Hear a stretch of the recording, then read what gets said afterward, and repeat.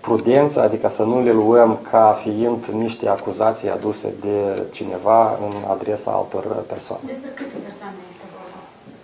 Uh, sunt zeci de persoane în acest raport. Această investigație a stabilit uh, destinația finală a acestor bani, țările uh, în care a fost transferată această sumă de bani? dumneavoastră știți că această investigație preliminară a fost inițial planificată pe o perioadă